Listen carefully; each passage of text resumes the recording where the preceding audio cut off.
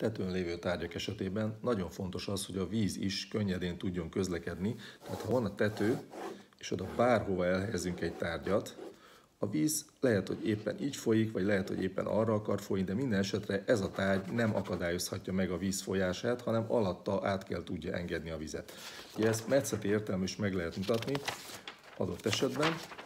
hogy például van egy extrém módon lejtő tető, és itt van az a bizonyos egységünk, ami a tetőre kerül, és ennek a talp rendszere alatt ki kell alakítanunk egy olyan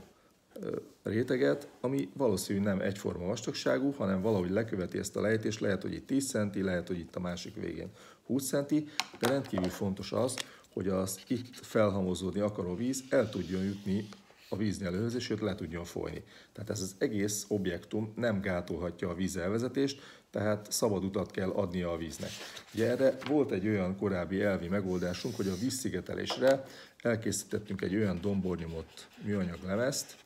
amire aztán az a betonplac készül,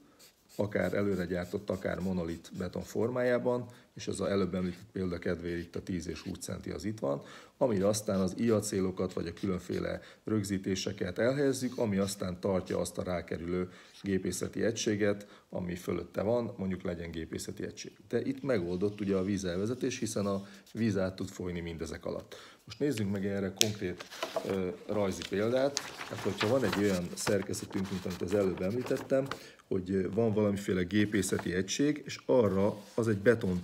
dologra kerül rá, egy beton alapra, ami nem csak a rögzítést van hivatva befogadni, hanem a teherelosztást és a terhelést is feladata felvenni, és kellő egyenletességgel eloszlatni, hogy ne nyomódjon be a szigetelés, a vízszigetelés, és semmi ne sérüljön. De minden esetre ez a teherelosztó betontalp rögzítésre is alkalmas, fontos, hogy alatta legyen vízátvezető réteg, és a víz könnyedén, lazán, folyamatosan tudjon közlekedni, és ezt ne akarjon kapcsolatba kerülni a belső szerkezetekkel, hiszen akkor át kéne szúrja a szigetelést. Tehát egyszerűen egy ilyen úszó betonplacról beszélünk, ami úszik ezen a felületen, tehát rajta van könnyedén rátéve, téve, de a víz át tud folyni mindezek alatt. Tehát ez egy ilyen példát mutató